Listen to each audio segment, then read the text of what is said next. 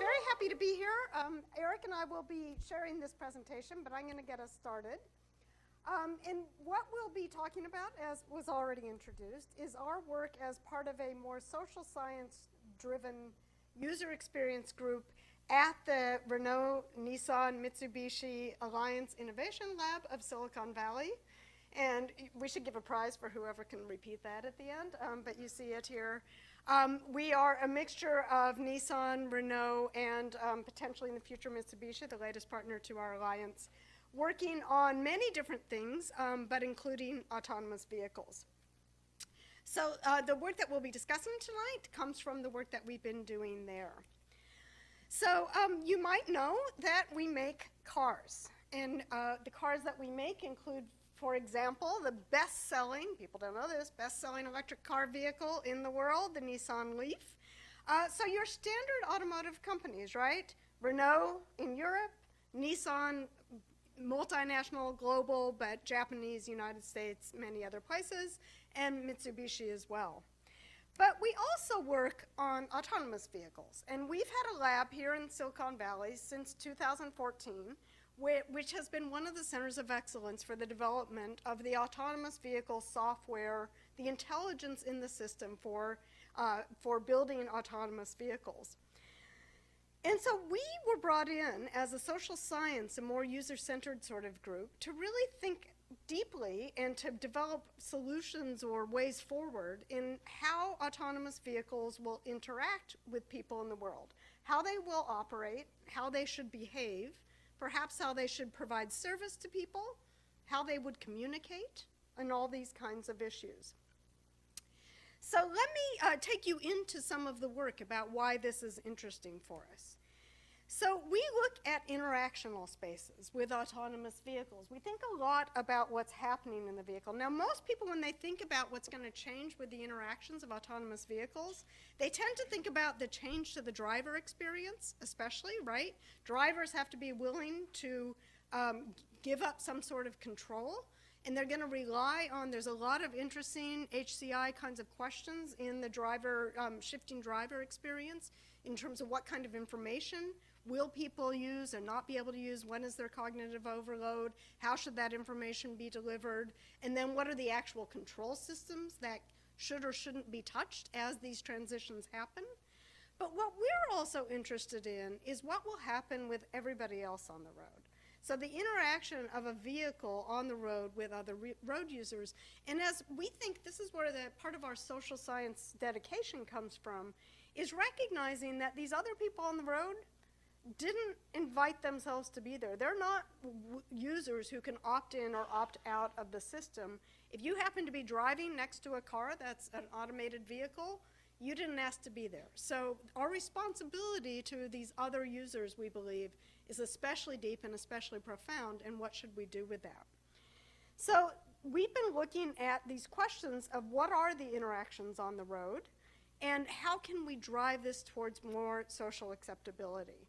So I'm going to walk you through a couple of the different kinds of studies and questions that we've been doing before we turn to the main body of today's talk, which will be on carefully designing autonomous vehicle systems in a larger sense.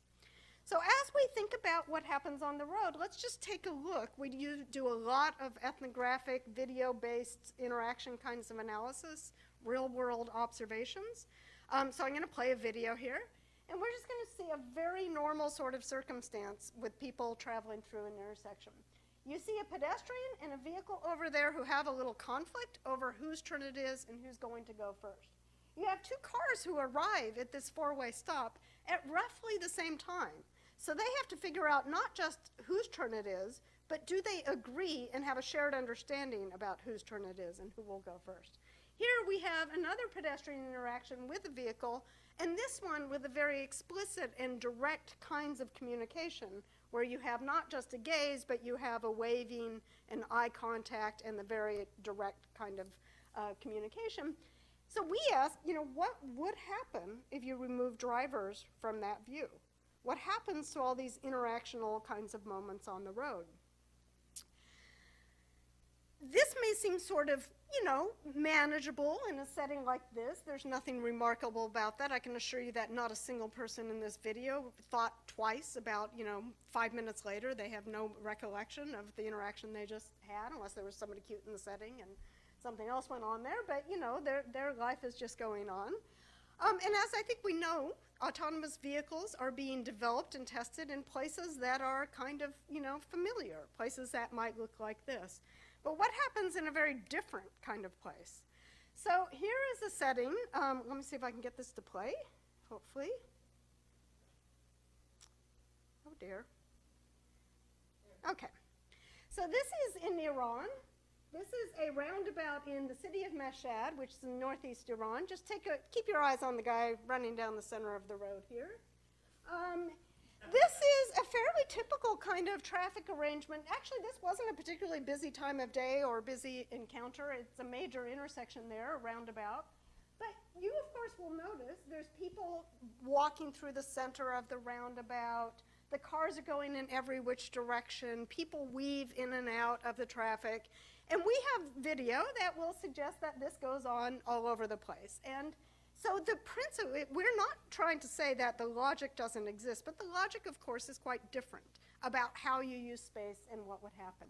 So we're, we're using this kind of thinking to defamiliarize ourselves. And ideally to defamiliarize the developers of the software system to remember that things are not always going to look like it looks when we walk outside our door and how to design and develop for places like that.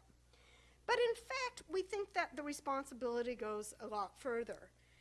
It's not just about the people on the traffic, in the traffic on the road who are having to navigate and negotiate what happens on the road, but it's people in what we would think of as adjacent spaces or um, street side kinds of activities who are also affected. For example, we see here a picture of a valet parker in a hotel who, as you see, is kind of ushering and protecting a father and his child as a new customer who's arrived for parking services is just pulling in, in into this pedestrian marked zone.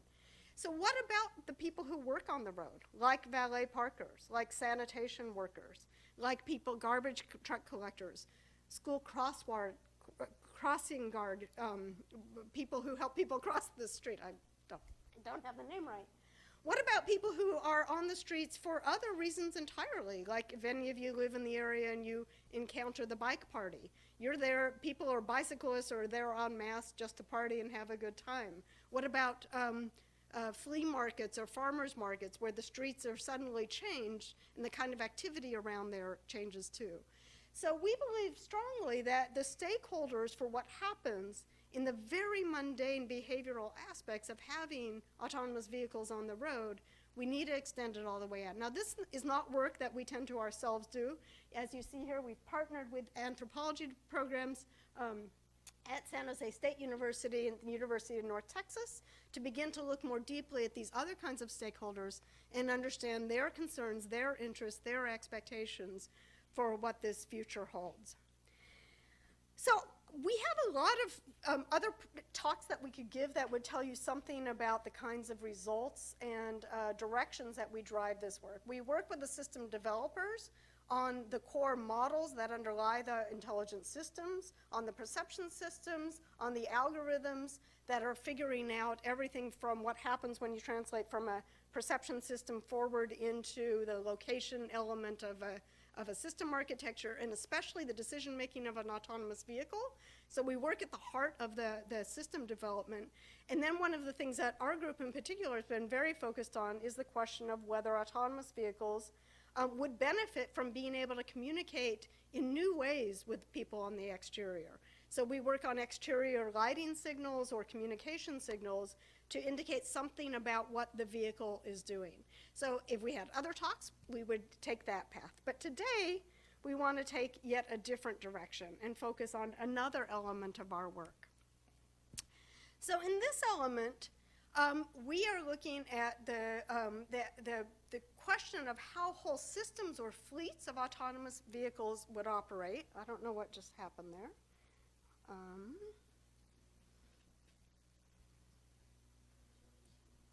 oh, uh-oh. But happened. it's not on our side, because this is, No. it is awake. Searching. Searching, searching.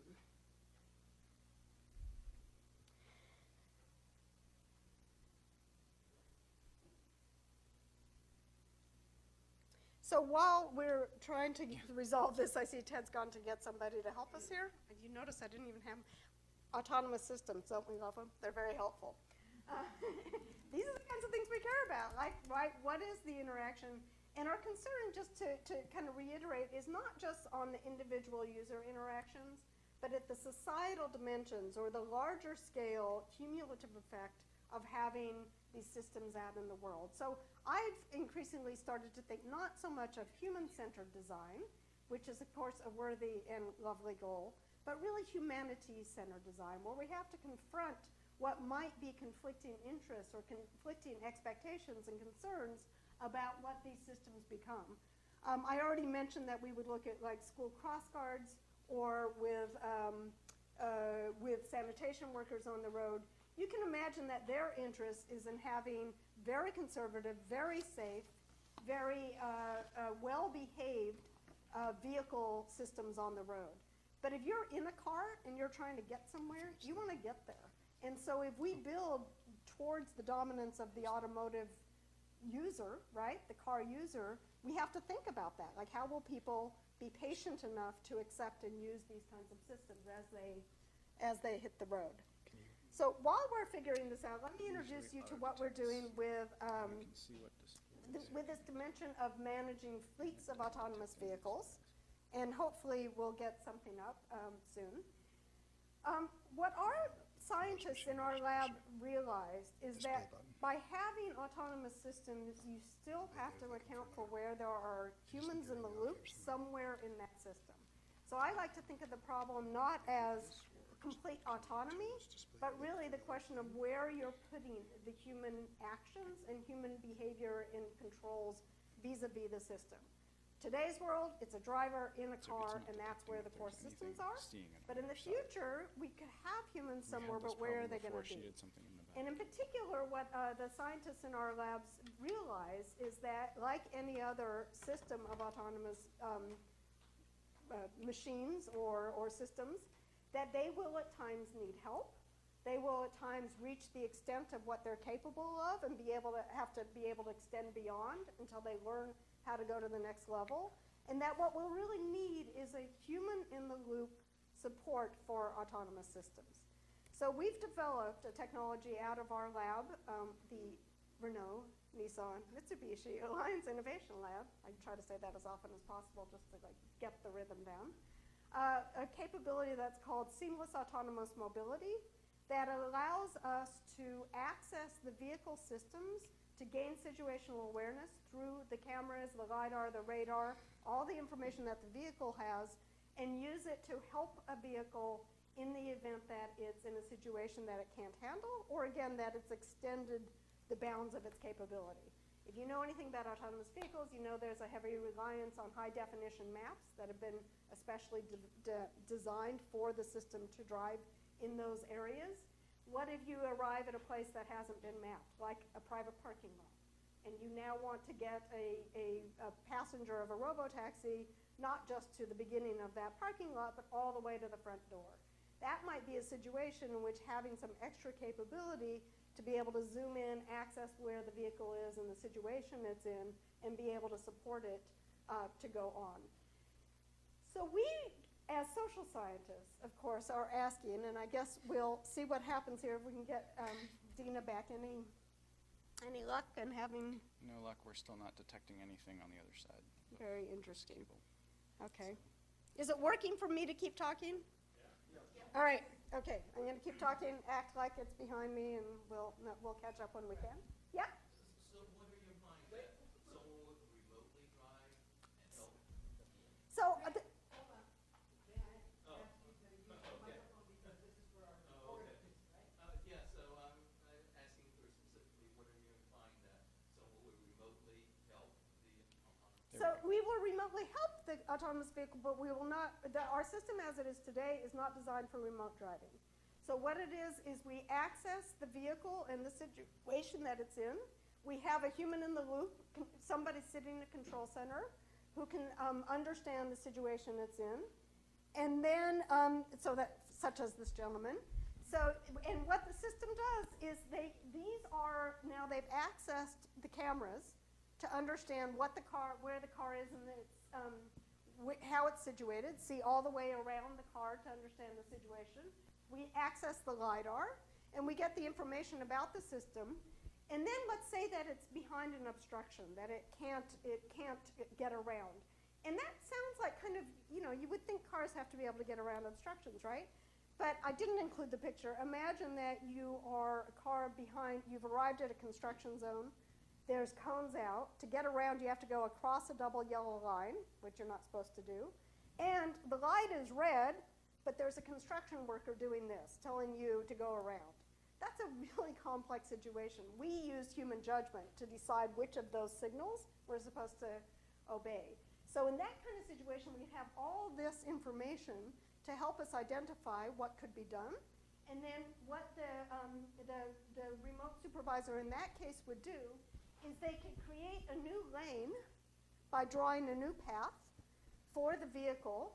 They send that to the vehicle so that the vehicle can still navigate everything autonomously and remains in control of its own safety at all times. But they now have a new um, goal and a new destination in the system to tell them how to get around. So as it is now, it's not a, it's not a joystick remote driving kind of um, scenario. So that's a, yeah. So, so that means someone is watching thousands of cars? And seeing, monitoring all of their situations, and some of them signal that they're, they need help, and So the others? vision is that we will get to where we will, you know, um, we nor nobody else are driving thousands of cars at the moment. So, uh, but we will get to the situation where that would be the, the kind of scenario that they would be monitoring, that the cars would be able to send up signals, but also that the system itself, with the cloud support, would be able to learn things about the environment and what's happening there. So we could maybe, um, if one vehicle has gone through a situation, another vehicle is coming behind. We've now already learned something about that environment. Now, in each case, you would need to be specific to that local situated um, instance. So it might not be the exact same thing, but you're already primed as to what kinds of things you could do. So yeah, this is envisioned as a, as a fleet solution. There's a startup called Phantom Auto. Yep. Uh, so, since you know about them, uh, how is your, your solution is slightly different. I mean, they, they actually drive There's the a car. joy- joystick, yeah. Yeah. So in your case, you actually provide a digital solution for the car's control system to do the same.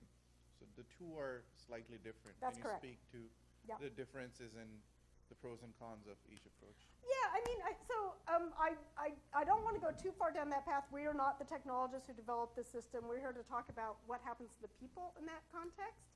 Um, but there's, I think you, you know, one could argue about the pros and cons in each case.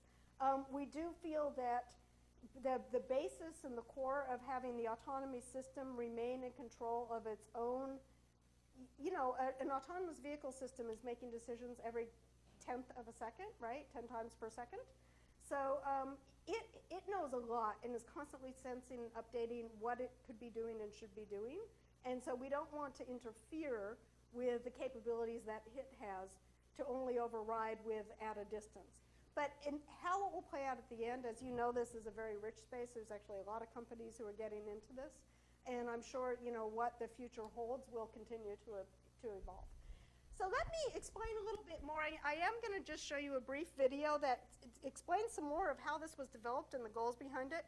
We have worked in partnership with NASA on this. It's the same technology that is used um, in the interplanetary rovers in terms of um, that, that system that can access the onboard sensors and, and provide information.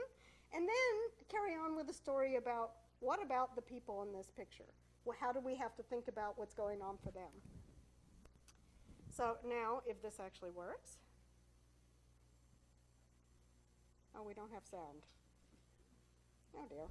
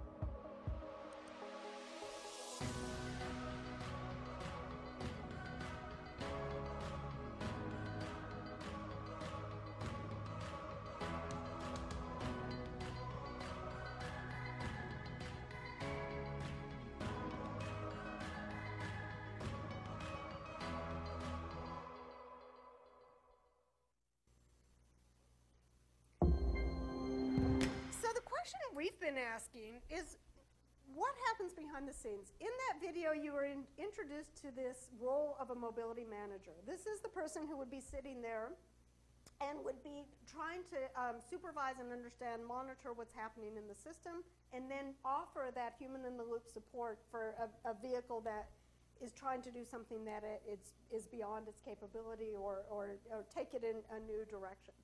So, what kind of work is that? What kind of role is that? And what happens to other people who are now using these technologies as a driver, as another person on the road, who have to realize that we now have a Wizard of Oz in the sky somewhere that is a real person who maybe is going to play a role in this environment? What kind of communication interaction might be expected? How will people make sense of and learn to understand what those different roles are? And what are the, explicitly, the technical challenge are what kinds of information needs to be exchanged and how? What are the kinds of problems that come up? So for that, we went and visited a um, bus system. We went to a small town in, or relatively small town in Colorado, Fort Collins, Colorado, a population of about 220,000 um, 220,000 people. Uh, it swells by about 50,000 additional people when students there. It's a college town, so when college is in session. Um, and why did we go to a bus system? As somebody said to us in our research, Nissan doesn't make buses, so what the heck are we doing there? We're there because we knew that a bus system already operates with a dispatch or remote supervision capability. So these transit systems already have people who are looking out for them and looking over them. So we wanted to learn more about what happens, what kind of work it is to interact between a dispatch and the buses, and how does that whole system operate. So um, we already knew going there, we anticipated that these um, dispatch people would spend a lot of time in front of the screens. They would be doing a lot to assess the information about what's going on. And we wanted to know more about how they use that, those resources, what the whole setup for them, what the rhythm and tempo, you know, what was too much information, what wasn't enough, who initiated the interactions back and forth, what were the kinds of problems that emerged, how were they resolved, what happens in the aftermath, how was information recorded, and all that. Um, so we wanted to understand how this information system worked. But we also wanted to get a more sort of visceral feel of what it meant to sort of exist and survive and make your way in a system that has all these parts and pieces together in it. So to do that, we um, spent we did a one-week intensive study of this bus system. Um, I, just to say a little bit more about it, there's about 100 bus operators who work in this system. Um, there's up to 50 buses on the road at any given time. Um, in that area, there is no other mass transit system. There's no light rail or subway or anything like that. So it is um, a dedicated uh, public service system. They do have some ancillary additional services like paratransit that they operate. For the university, they might do, you know, middle of the night runs, those sorts of things. And there, in the last picture, you saw a Max bus. There is one uh, bus rapid transit um, route that goes up and down the, the center of the city. Um, so how did all that work? And again, what was it like for people to understand who the different participants and players in that environment were? So um, we spent time trying to understand what that did by doing a lot of observation. We rode with bus drivers on different routes. We spent a lot of time in the dispatch center itself at all different times of day and night. Um, and we went to some of the management meetings, staff meetings to understand the different roles and the parts and players, to learn again what it meant to operate a system uh, and, and to, to have it functional. Always asking the question for ourselves what would it mean if you begin to remove the driver from any one of these um, scenes? So, in this case, if we remove drivers from buses, how would this whole system operate? What happens then to information requirements, to communications, and to the experience of people in the system. So I'm actually going to hand over at this point to Erik, who is going to take us now deeply into what we learned about careful design for social acceptability with our bus system. Hopefully it'll, all work for you. I hope so. Thank you. Um, so, what we saw in the field um, was that it took an interlocking set of roles, um, different people doing different things to make mobility possible inside of this inside of this bus system. And the three roles that we're going to focus most on, they were the ones that took up most of our research time and where a lot of our findings are, are focused about, are the um, bus operators themselves, the dispatchers um, in the dispatch center that we just saw, and then road supervisors. Um, so the, the you know, bus operators are out there in the world driving along their routes. Road supervisors um, are also out in the field, usually based at a transit center, and they handle sort of problems in the local area. And then dispatchers are sort of watching all of this happen. They're organizing and managing these employees from this transit center, a center of coordination. Um, and so in the system that we were, we were looking at, it's fairly small. Um, at peak, there were four dispatchers managing, you know, as Melissa said, up to about 50 bus operators, with maybe one to three road supervisors in the field, just to give you a sense of the kind of scale um, of personnel that we were looking at. And each of these sort of individual groups had particular tasks that they were doing. We saw one of the dispatchers before in that image on the right-hand side, you know, looking at a variety of screens, in front of a telephone, in front of a radio. Um, they're generally divided in the system between a pair on the left-hand side of, of, they're in one room, and the pair on the left-hand side is handling sort of active issues. Um, a bus is in the field and breaks down somewhere. Those are the people who jump in to assist. Um, and then the other side of the room, you have you know one to two dispatchers who are handling managerial um, tasks. They're planning the next day or the next week's operations, and they'll jump in if there's a sort of high demand period where there are lots of issues. Um, and if it's a sort of low demand period, then even some of the people who are on call will sort of fall back to doing managerial work. So they're sort of managing routing, um, sort of ahead of time and then rerouting if there are issues in the field. They're handling sort of schedules for other personnel, the bus operators in particular. And they're the people who are interfacing with other sort of city or regional offices. Um, so if a bus has an emergency, the operator calls into dispatch, dispatch calls emergency services. Or if somebody reports that there's a traffic light out, dispatch are the people who actually you know, call the, the city office to you know, go get someone on site. So that's kind of what dispatch is doing at a high level. The operators, we've also seen one of those on the left-hand side of that image driving the bus. Um, driving the buses is their sort of primary goal, um, and especially safely driving the buses. One of the key values that this organization stressed over and over again, of course, is safety. That's something that's very important to them. Um, but bus operators are more than just drivers, as we discovered and as you know some people could anticipate. Um, they are the interface between sort of passengers and the public and the transit organization as a whole. Um, they're the first line of contact you know, to the outside world. They handle accessibility issues, helping people with mobility problems get onto the bus, get buckled safely into their seats.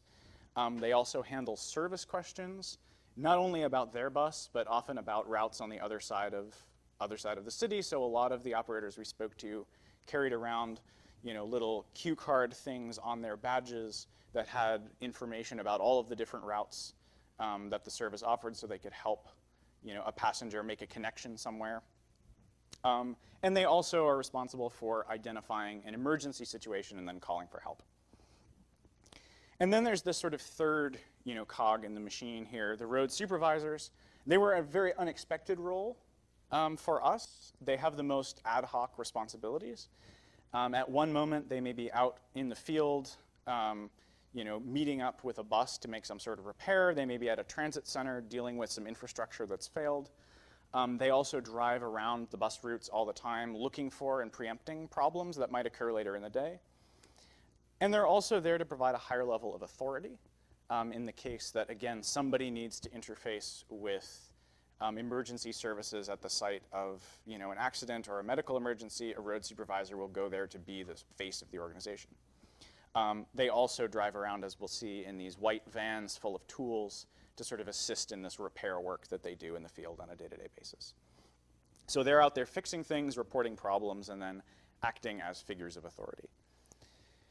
And so this was a sort of operational picture of the organization. This is some of the work that these people are doing just to keep things moving day to day, um, to meet direct service objectives, to sort of fix a problem with a bus, to reroute somebody around an accident, et cetera. But one of the things that we came to when we looked at the system was that there was a lot more work going on than just this operational work. We observed systematic attention by all the parties to features and qualities of the service that went beyond ensuring efficient operations of the system.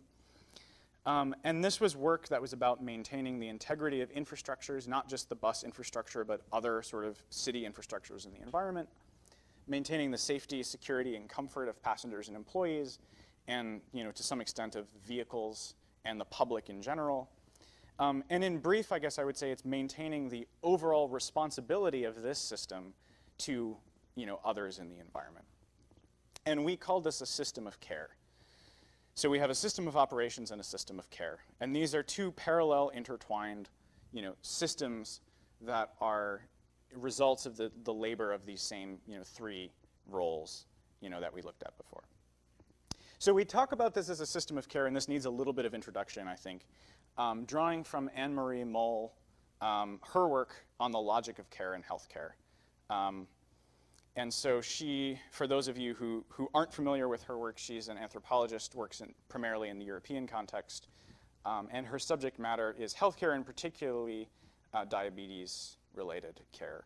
Uh, at least she has a whole book on that. And in, in her subject matter, um, there's these two values that are being pitted against each other. One of them is patient choice and one of them is pa patient care. And choice you know, appears under the guise of presenting individuals with information and then with decisions, choices that they need to make based on that information. So an example would be, you know, you need a blood sugar monitor. Here are five blood sugar monitors. I can give you all of the technical details about them. You can read comparisons. You know, go off, process this information. You make a choice as to which one is right for you. By contrast, care you know, the way that she talks about it, care is achieved over time by informing people and providing support, cajoling, even sometimes forcing them to get out of bed or do things that they don't want to do but need to do for their own health, um, working with and otherwise providing assistance to patients. So the care version of this blood sugar monitor you know, is, for instance, a nurse who has deep experience working with patients and can tell you, based on your lifestyle, you know, based on your you know, current health, I think this product is really going to be the best one for you, and I'm going to highly recommend that you, you know, choose that one. Um, so she is sort of setting up this dichotomy between care and choice and saying the, the healthcare model is moving more and more towards this choice-based. You need to make the choice. We're going to give you the information and put all the responsibility on you as a patient. Um, but that really there's a lot to be sort of valued in that in that care aspect that sort of works with people over time and helps them, um, even if they sometimes don't have as much choice as they would in the other model. Uh, Annemarie Mol and others who've worked on care work um, have found that this is you know, often labor that's not acknowledged by professional standards and measurement systems, and that's true in healthcare and, and nursing as well, even though that work is critical to the functioning of the organizations that depend on it um, care labor, you know, often happens outside of the market frame. It's uncompensated. It's situated in the home. It's provided for primarily by women, though not exclusively. Um, and some of this typically household labor is increasingly being like brought back into business organizations seeking to provide for ever increasing amounts of their employees' needs. So that's a, another trend that's happening here. But a lot of this work is sort of written out of, of discussions of organizational work. So we're looking to expand how care work is thought about in distributed organizations like this transport system with different roles playing you know, different pieces. We also see the system of care as something that operates at multiple scales for people and objects alike. So we're trying to bring the care of humans closer together with the repair of machines and the maintenance of infrastructures. Um, so we would say that relational care work is tied to customization, to maintenance, and to repair. And all of these things may be oriented towards larger groups of people and things alike, talking about caring for you know, an infrastructure or a public. So we see an opportunity here, or we saw an opportunity in this work to unify care and repair, and to bring together caring relations of humans and non-humans into larger systems of the two to think about, you know, what happens to this kind of work as individual roles and, you know, skills within a system are automated away. In the system we studied, we saw care and efficiency being two key values that were being balanced, uh, with care often predominating in practice. Um, so to sum up, care, care work as we identified it in this, in this organization is happening over time. It's oriented directly towards relationships to others. It occurred in everything from the smallest of daily tasks to multi-year projections and plans, and we'll see some examples of this in a moment. It involved the buses and physical infrastructure as well as employees and customers. So all of these were cared for. And we wanted to ask, you know, what happens to this work as roles get automated? And we wanted to argue for make, making sure that we retain an attention to care in increasingly automated vehicle or service systems that we develop. So we wrote a paper about this um, in, I guess it was in October. Um, and our conclusion was with sort of five key questions to think about while doing system design as part of a, this sort of careful process. So first, we want to ask, is a service system design, you know, or an autonomous system design, investing in the skill and autonomy of people within that system? Or is it trying to eliminate that skill and autonomy? And we would argue that care requires appropriate modulation of human autonomy within a system. And this connects to old themes of artificial intelligence versus intelligence augmentation and long-standing arguments over the dangers of de-skilling. Second, um, is the design attending to where work will shift, or is it sort of vainly hoping that that work will just go away? Um, and when automation systems are introduced to do a certain part of a task, we see historically again and again that some work is always transferred somewhere. It doesn't just go away. It's shifted in time or in space, um, in role, shifted maybe from people on the factory floor towards you know, engineers working behind the scenes, but that work remains. And being careful here requires not overloading any one part of the system by failing to attend for the way that work is going to reshape you know, around the introduction of an automated system. And this point sort of responds to the myths of autonomy and aligns with these sort of holistic perspectives on system design that you know, we try to take in our work. Third, and connected to this question of skill and autonomy, um, is the design creating a structure that will do the extra little bit to serve people well? Um, a service will need to behave appropriately on the margins, even in situations that are ambiguous, and somebody's judgment is going to be required to sort of make those situations go smoothly. And today, humans are usually called upon to make those judgments and go beyond the sort of rote application of procedure. and so we think about this as not just investing in skill, as in the first point, but also having norms and values within the system that are conducive to people making those calls in situations where it's really important. Fourth is a design trying to measure the right things, and is it leaving room for the uncertainties that will inevitably you know, happen and cause the third point here. Um, so surely we don't want to you know, entirely remove ourselves from numerical metrics. They're good for measuring lots of things. But we also have to remember we can't count on them to be neutral, objective, or complete. Um, numerical metrics are always open to being gamed. They're always showing one part of a situation and not another. And so we need to support those with a, a sort of robust um, set of different kinds of measures. And finally, on that point, you know, we need to ask if the success of a design is accountable to the things about it that are that we want to come out that are unmeasured or perhaps even unmeasurable. You know, this is something about does it do the right thing in the end? Um, and we would argue that caring means reserving a space um, for things that are qualitatively right, even when you can't necessarily measure how close you are, you know, to getting to them.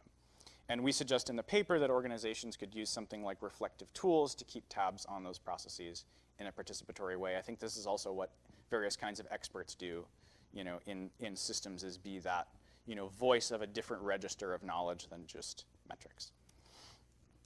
So to explore these more deeply today, we're just going to look at sort of the first two, um, thinking about with some examples that we saw in the field and one particular story.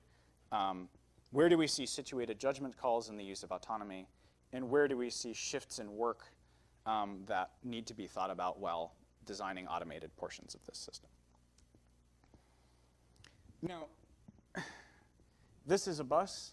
It looks like a fairly unremarkable situation, except that it's a little bit rainy. And this is something that we, you know, we saw while we were out in the field. And you know, one might be predisposed to think that, that bus travel is relatively simple.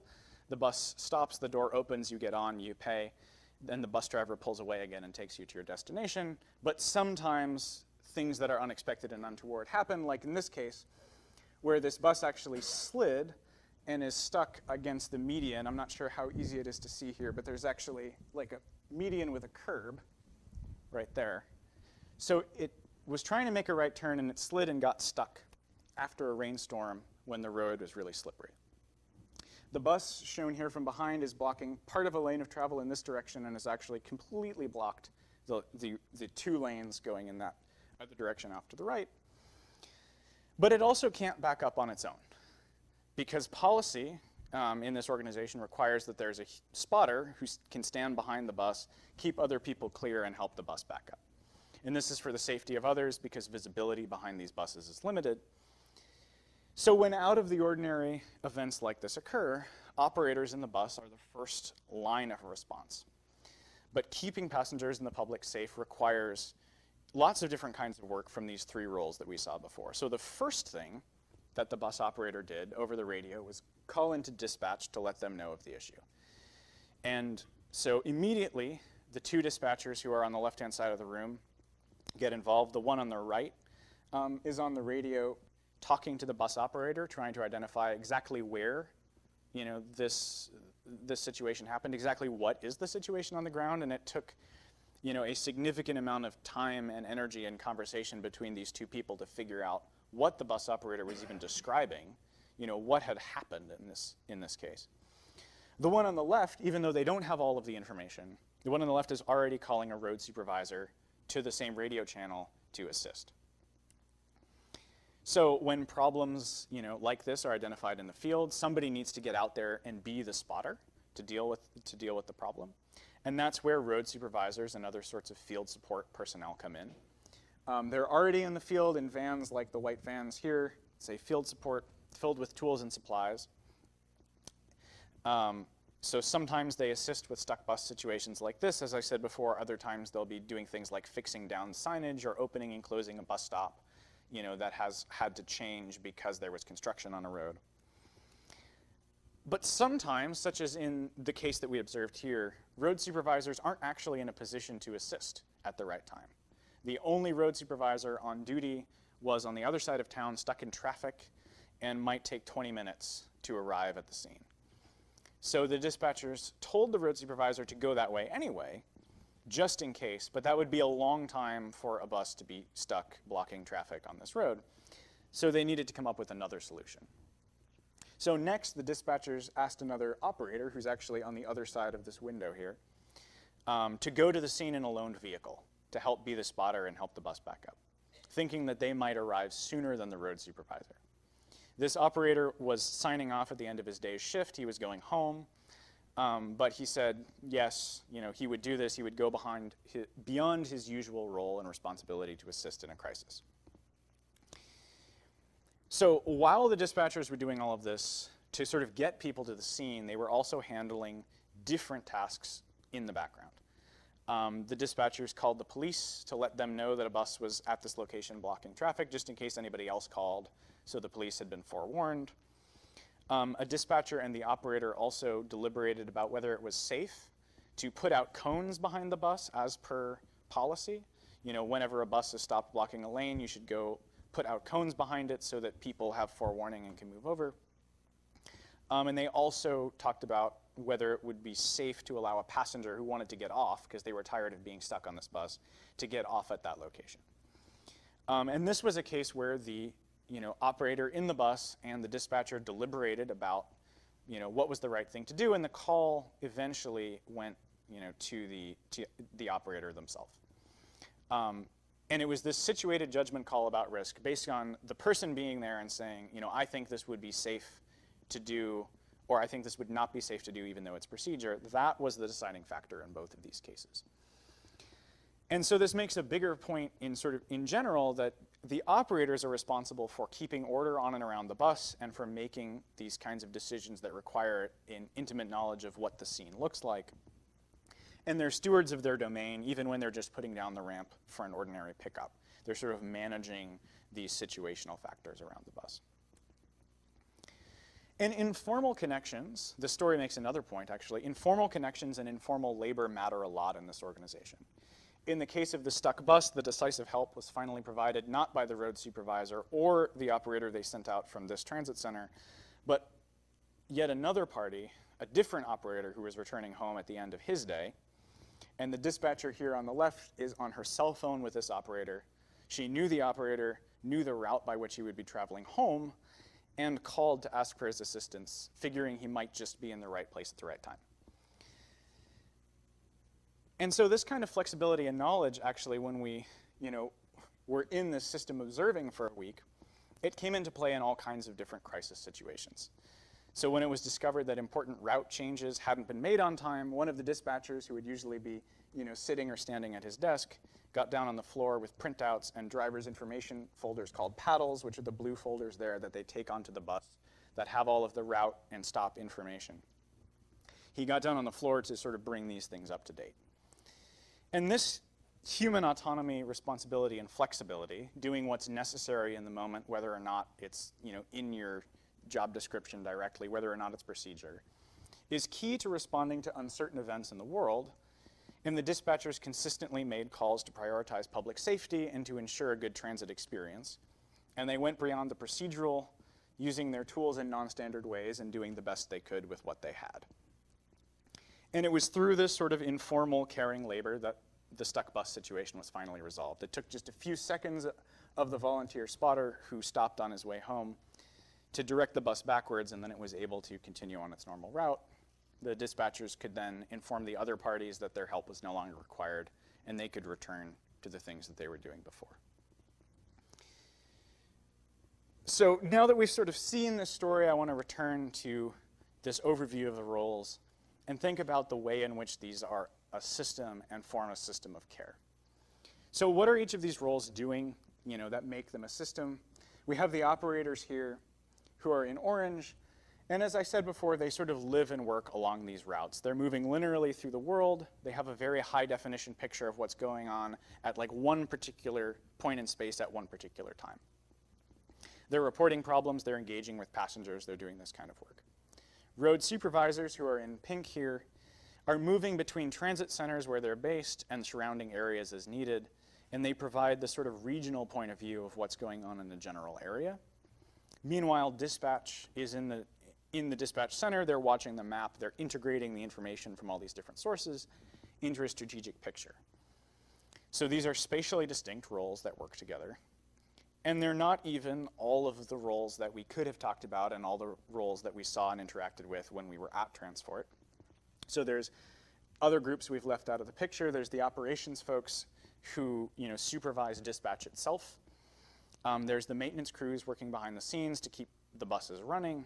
And each of these groups has different roles as the system evolves in time at different points in the day, each quarter and each year, which adds like a third dimension to our diagram thinking about how these things evolve in time.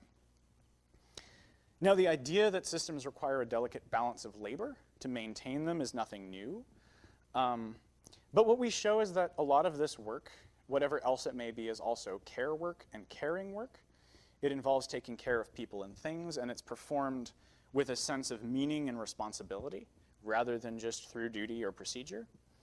Um, we've talked about the system of care already in terms of the roles of its constituent people. What is each of these you know, actors doing at a given time? But it's also possible to turn this around and look in the other direction at what properties and what things are being cared for. And I think this helps make clear the systemic and mutually reinforcing nature of the care practices involved. So you have, you know, a bus system depends on vehicles. Vehicles are cared for through, you know, fueling, through daily pre-checks, which you know are required by law, but it's also something that people take you know very seriously and, and do a serious job with. They're cared for through preventative maintenance and repair. Um, employees are cared for in this system through training, through ensuring safe working conditions, through responsible scheduling, through information sharing from management about things that they need to be aware of. Customers are cared for via accurate transit information, through the provision of safe and clean vehicles, through on time service and welfare checks, which is another one of these things that didn't make it into our story but is actually worth pausing for a moment on. Um, so, bus operators, you know, somewhat routinely uh, will see people by the side of the road who may be having some sort of a medical issue. Somebody is lying down in the grass. You know, are they just taking a nap or are they passed out? Do they need medical attention? And so this is a situation they, they have a name for it as a welfare check, um, where they will either send a road supervisor or actually call emergency services to go check up on this person who's on the side of the road and find out, you know, are they okay? Do they need help? Um, and it's one way that we saw these buses being used as a sort of roving information platform to sort of, you know, better the city and the surrounding community in a way that was, I think, somewhat unexpected for us as researchers. Um, above all, these separate subsystems of care work put together maintain and allow for the movement of people and vehicles. So movement through this system is maintained by coordination and timely communication between these different roles that we see here and between the vehicle system and the other municipal services that share the same streets, you know, and need to be sort of cooperated with to make everything function. And sort of jumping up a level even further, there's of course management roles that we spent some time with who are making long-term decisions about how all these other pieces fit together and will fit together through time that turn this into a sort of messy four-dimensional hypercube of a diagram. Um, and they also express care work in their own ways, um, working on the culture of this organization, working on things like timing the acquisition of buses so that you don't have 20 buses that were all purchased at the same time that all start to have the same problems at the same moment. And now you have a big sort of monetary and service problem on your hands. So you work to sort of stagger those acquisitions to keep the sort of the bus infrastructure um, predictable to avoid sort of catastrophic failures. Um, they also do things like provide new routes to meet you know, constituents' mobility needs, the sort of obvious things that management people would be doing in this kind of an organization. And our point is that individually, a lone employee caring for passengers or equipment won't make much difference to the organization as a whole. But we saw care in this organization as systemic, happening at small scales in individual buses, helping people get on and off. Also at larger scales in dispatcher fleet management, you know, monitoring and responding to goings on at multiple locations, things like we saw, you know, in our in our data here. And it happens on different timescales, you know, days, months, years. And there are some things about the world that you just can't get around. Buses will always have mechanical failures and break down.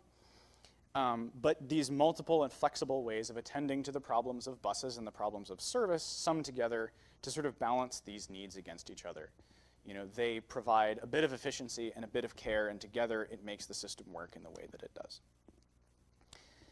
Now, stepping back from our data itself, I want to sort of finish out by asking what this means for the design of new systems, in particular, where we're striving to take people out of particular roles. Um, how do we have to think about putting people back in? In what ways do we need people to be there to provide, you know, this kind of, of caring, you know, labor and affect to the system itself? And I think, you know, few people are designing whole systems from scratch. Usually you're just designing one particular component, like the set of interfaces and workflows that the dispatchers use to do their jobs, which was one you know, reason we went to go see like how are these people working? How would we design something like that? Um, so how do you think about these kinds of care questions when you're building just one little piece? And I think this brings us back to the five sort of questions that we started with um, in sort of my half of the talk. Um, to take to the all the way to the margins of whatever the piece that you're building is and just a little bit further to think about how that's going to impact all the other parts of the system that it ends up sitting in. Um, I guess what we've sort of come to, you know, in our work on this is that autonomous system design is really just work system design, you know, full stop. The fact that you're automating away a role is only the start of it. You really have to think about all of the other work that's happening around it. So just to return to these phrased differently, in as much as possible, we suggest making sure that designs for systems in whole or in part invest in human skill and autonomy where possible and appropriate. Um, make sure some of these people exist somewhere in the system. Um, attend to wherever the work may be, and if it shifts out of the realm of the piece that you're designing, consider what might need to be done to shift it back or to provide support and assistance to the people on whose shoulders you've now sort of put this new task by you know, creating a system that automates only part you know, of one piece of work. How would you help them deal with the mess that you've made? Um, as part of the first two points, you know, ensure there's flexibility in the design, that there's organizational tools, processes, and norms to handle things that are out of the ordinary. Measure the right things, have a good argument for you know, everything that you're measuring, be aware of how it can be inaccurate and what else you need to support those metrics. And then find a way to have processes and norms in place to listen for things that may not be measurable in numbers or surveys, but nonetheless matter for doing the right thing, whatever the right thing you know, is for your particular use case or organization. Now we recognize that Transfort is specifically a public service, and so its business model is different than a you know, private company offering automated taxis, for instance. But we still want to caution against losing these caring aspects of the system in a transition to automation and a focus on efficiency you know, above all else.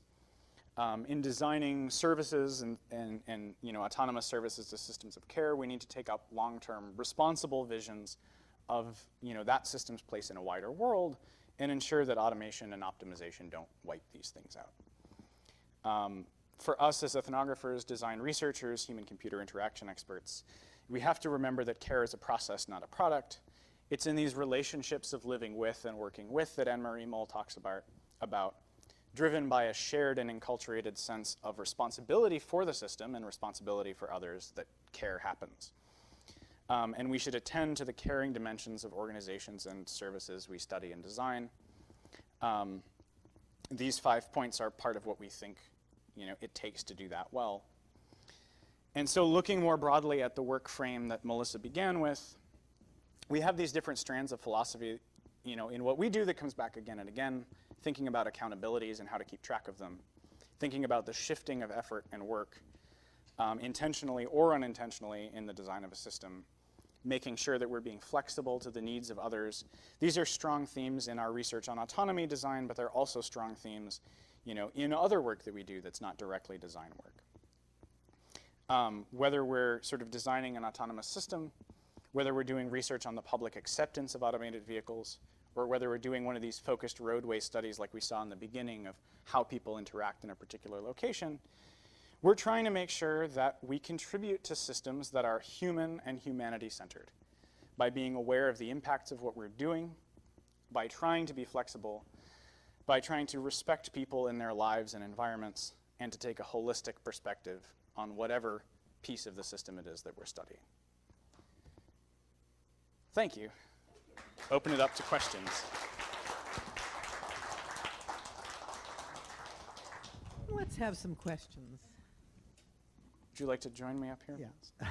so we have a system where the guy can't back up his bus because that's against the rules. This is very good. We have a situation where it takes a few minutes for them to figure out where the stupid bus is stuck. And nobody's allowed to get out of the bus and help. Uh, the police don't get involved. Uh, it seems as though we've gotten things more complicated than they used to be uh, in this situation. I mean, probably three years ago, the, the, the, the you know, somebody could have gotten out and helped, or you know, or, or something. Um, and how do we how do we analyze these these systems and their interlockings, where in fact we've created bureaucracies in the small, uh, and the efficiency is obviously reduced, not enhanced by this beautiful structure that's been created to, to have all these different roles that interact. So I'd say, I, I mean, I may be wrong. yeah. I mean, there's there's two responses. One one is a response on the the you know whether anything has changed about the system, and I don't I don't actually know you know what At it looked like five years ago. bus, right? Um, but I think part of you know, part of what's going on is a balancing of different, different needs and responsibilities. Um, and for instance, having somebody get out of the bus to help, you know, would be, it would be very nice of them, you know, to do that. Um, it's also probably putting them at some risk that the, you know, again, this is this is where bureaucracy comes in. I think the interesting point about bureaucracy, and I don't I don't have like a, you know, an answer to the problems of bureaucracy in the modern world, but it is, you know, it's really set up as a system oftentimes where, you know, that that flexible flexibility component is already being sort of taken away. That's the the point of a bureaucracy is that everything is the same way. And you know, if you don't like it, And you can take a hike. in this case, several of those broke down. There were breakdowns in every situation you described. Yeah. And, and they had to reach outside of the system for yet other approaches that hadn't even been considered in the Yeah. design of the system in order to solve it. Yeah, I mean, I think sometimes it's the, the, you know, not to say that this is a perfect system by any means, and I think if you had, you know, good remote camera access, for instance, from, from the dispatch center on each of the buses, minus privacy reasons and other things, there would be a lot of these situations that you could sort of, you know, smooth out. But I think it's when, you know, when you have a bureaucracy and people go outside of it for these reasons, that the interesting stuff happens that really, you know, makes things makes things work smoothly. And so I think there's there's something to be said for every you know every system has those sorts of hard and fast rules that people tend to adhere to. Um, and then it's the moments where, you know, the moments where someone will I'm reminded of, outside that. I have to just say this, I'm doing, you know, association with last month's program where we had somebody from PARC talking about uh, AI and ethics. And the thing he talked about was, the reason this project is, has any legs and is moving forward is because the company is interested in risk mitigation. And so, you know, I think you're, in some ways, you're talking about the same issue. And. I was going to say that in this case, another option for going outside the system could have been that the driver would have decided, I got this, I'll mm-hmm. just back up, you know? And for whatever reason that she was maybe, you know, newer in the system, thought it would be observed and she would be dinged, that there was something unsafe about it, you know? So, I mean, you ask a great question, and there's no perfect answer for, you know, either way of Next question. You're talking about, you know, the, the, you know, the bus system in Bay Area. It's not happening in anywhere, anywhere else. So I just wanted to. It's on. Um, so I, I think that it's a good that you're looking at this in the um, context of automated vehicles, um, because otherwise, I think what would happen is that we would see what we're happening, seeing happen in retail, which is that in retail, stores are moving toward you know people just picking up the product and walking out the door with it, and the store somehow you know charges them and all that stuff or that you go to a, an out, uh, you go to a, a self-checkout stand, and they can, in so doing, they can get rid of the personnel that they had, sort of helping people out the door. But the problem with that pro- that process in retail is that the care is gone, right? And so there aren't people floating around the stores looking to help people who are having trouble finding a product or finding the right product or you know that sort of thing. And so a lot of us now spend a lot of time wandering around stores that uh, you know and so we're not we're not being cared for as customers as much. Um, so without what you're doing in this automated vehicle realm uh, I fear that we would see the same thing happening in that realm because of the the economics, you know, the economic pressures on the companies to lower their um, costs and uh, produce um, high, increase their profits. So Yeah, and I think for I mean for some for some retail situations that may be a fine approach, but it's a surefire way to turn a retail environment into like a physical web store where you're still you're wandering around, you're looking at products, except you're doing it through the browser or you're doing it in person, but there's not necessarily somebody there to help guide you through it. And I, you know, that's another model that I've, you know, I've thought about in my own experience of going to, you know, stores and finding where there's nobody here to help. It's a rare case that I need it, but when it's there, it can be, you know, a very valuable thing to have.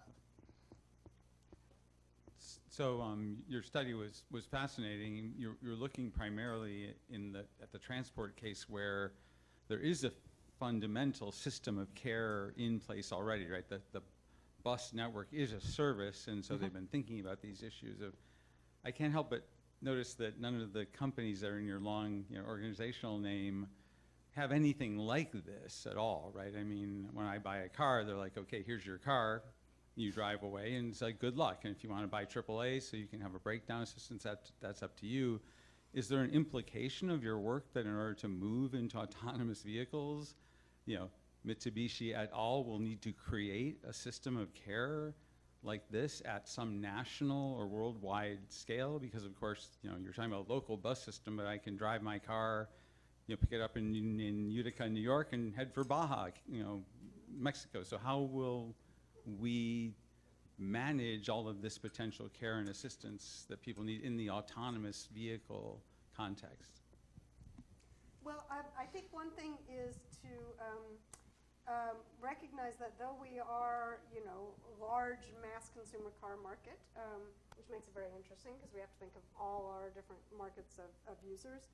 Um, the future with more autonomy, uh, especially if you look at how the conversions we now people now talk about CASE, connected, autonomous, shared, and um, electric mobility.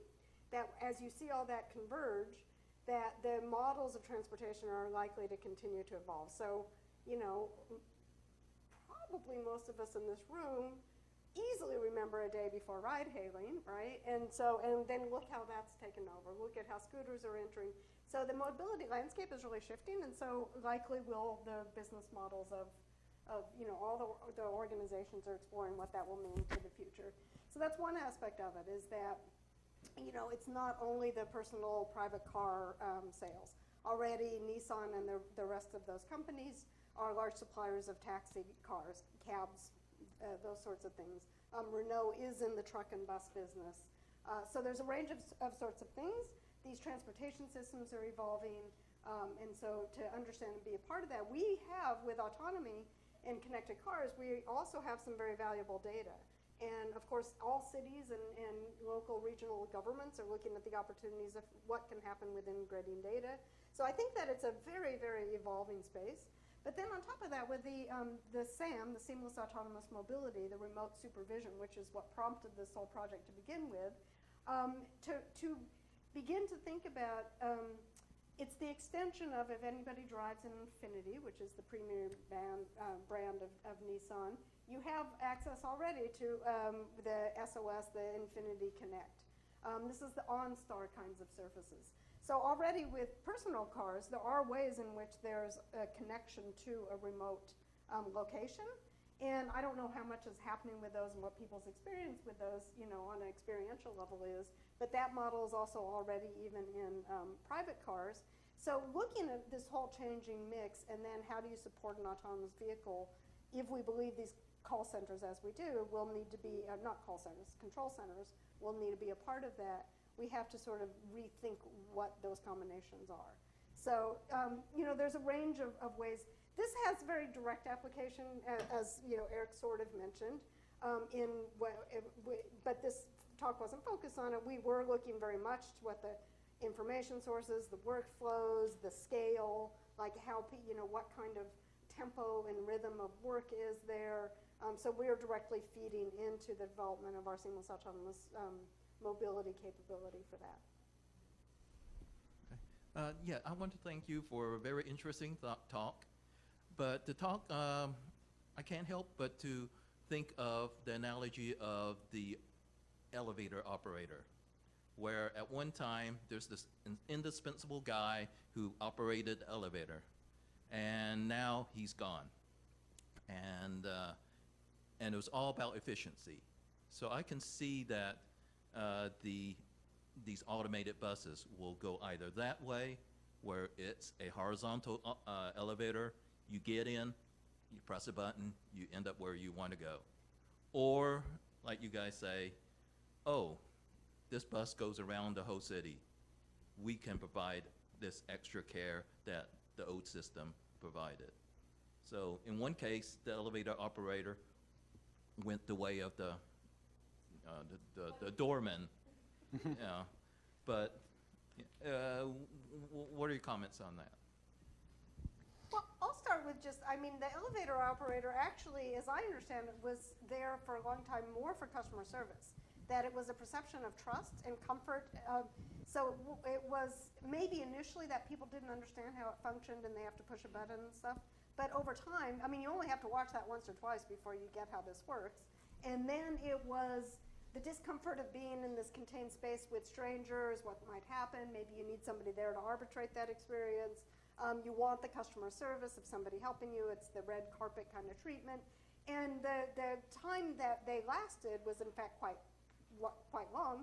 Having lived in New York City, doormen are still alive and well, I can assure you, we love them. Um, but uh, um, so yeah, this isn't to suggest that this all is going to be permanent or look always the same way. Of course, things are evolving, but in the space of mobility, which is a way more complicated um, movement system, right? There's uninten- you know, unexpected things that cross your paths, like the, the, the, the dog that runs across and all the kinds of things that an elevator does not do and doesn't have to encounter. So the likelihood of needing extra care and extra attention over a longer period of time, I think, is also part of the system. Yeah, and I, would- I mean, I would say about the elevator example in particular, I mean, I don't know that they, they certainly work, you know, quite effectively. I don't know that they're the sort of, you know, peak of carrying technology. Every time I get in one and there's a weird clunking noise and I'm wondering, you know, am I going to be stuck in this? Though I remember that there is always a call button that will connect me, you know, to emergency services or somebody who can help. So even that system, though there's no, you know, we took the doorman out, but now we have a sort of information system with people on the other side who are there. If there really is an issue with your elevator, you know, hopefully you can get some some kind of assistance. So I think it is possible to sort of shift, you know, how where that care labor happens, how much of it you put in.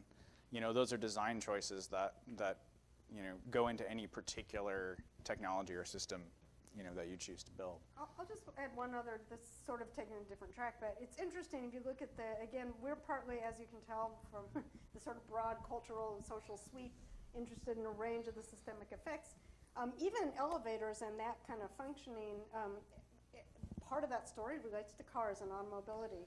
So you started having more elevators when you could have taller buildings, and you couldn't have taller buildings until you had a density of people all in one place that needed the elevation.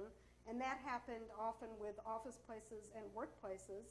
And you couldn't have a density of people working in the same environment until they had cars to get there readily. Before that, people would work, you know, five, ten, whatever, a walkable distance from where they were living, which meant that workplaces were more spread out.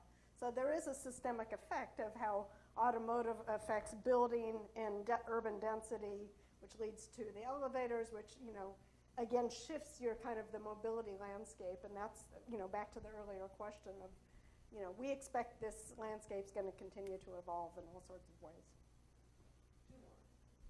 Uh, hi. Um, thank you for being here. First of all, um, I just had a regarding like the whole system uh, diagram and everything. I was wondering about if you could comment on the decision to not um, include like the users of the system, or p- arguably the users of the system, the like customers of the bus. Yeah. Um, not including the customers in the system diagram. Diagram. I guess you know it wasn't. They're not one of the active roles in the in the stories that we tell, except for the one customer who, you know, wants to get off because the bus is stuck and they've been sitting there for five minutes and they could just walk to their destination. Um, I think you know the. So they're they're they're not included because they're not part of this particular story.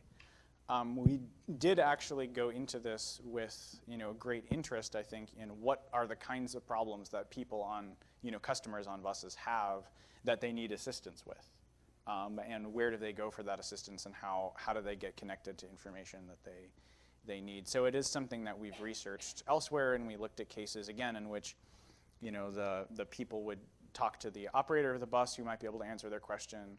We heard bus operators radio into dispatch for like scheduling questions that they couldn't answer. Like I have a passenger who's trying to get to some other location. Like what can I tell them? Um, and you know dispatch also making fielding direct calls from from customers, which they're technically they're you know not it's not their telephone number in dispatch is not intended for that, but they sometimes did it anyway. And so they are active parts of, of the system. They weren't active parts of the, the design work that you know we were thinking about on the what we selected for this for this talk. So it's not.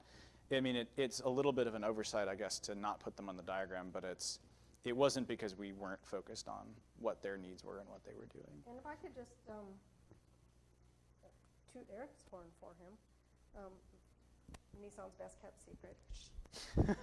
um, um, he, one of the first studies that Eric did when he uh, joined us was actually to think about what would be the experience of people inside of vehicles if there's this human in the loop, like again, this Wizard of Oz, suddenly like you're in an autonomous vehicle, it's disabled, something's happening, you're trying to figure out what this system in the car is doing. What does it see? What does it know? What is it going to decide? You're trying to figure out what you should do. And now there's like these other people in the cloud, and you have to wonder like, what are they doing and what are they thinking?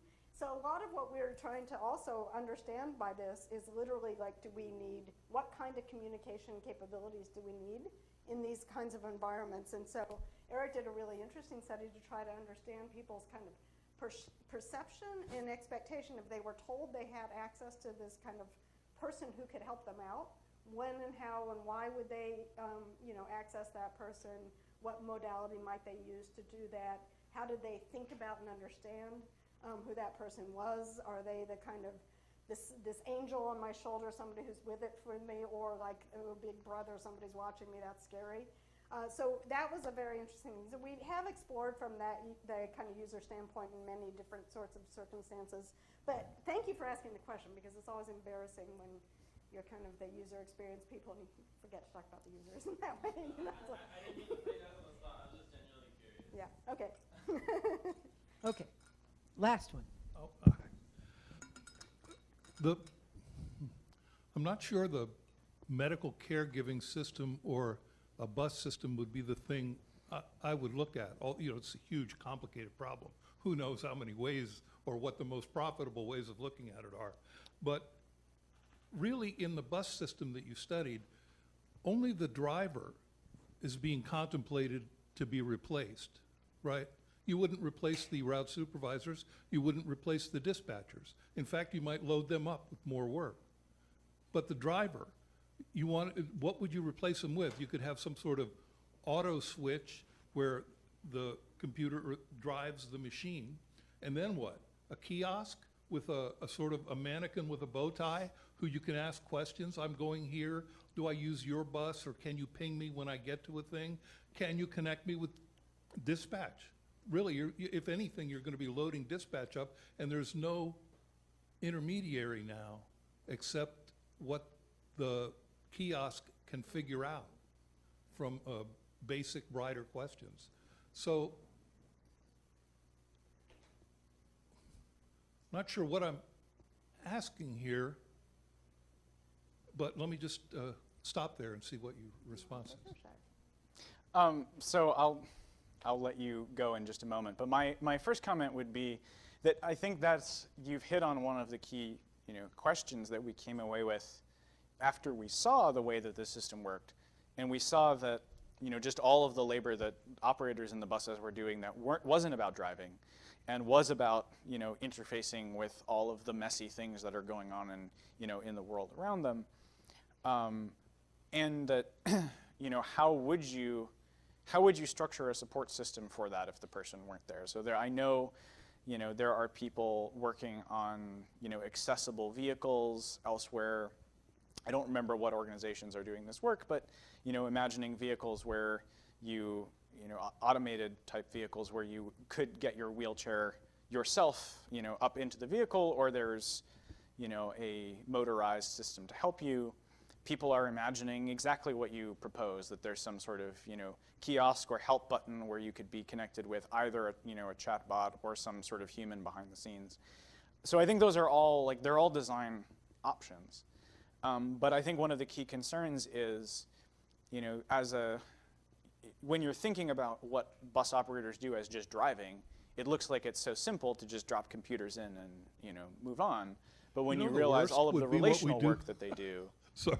The worst would be what we do at our desktop, right? Would you like to be connected over the internet to a chat or uh, help? Or, you know, you can search by, you know, uh, uh, there's a little search queue, you could put your words Yeah. in, hope you get the right answer. Was this helpful? Uh, What a clogged up system you'd have. and you would need some. I mean, if you were to do that, you would need multiple layers of human help in the background. You would need people who were capable But and not locally. qualified of. It w- You would be loading up dispatch like crazy. All the bus drivers would come into dispatch, sit at screens.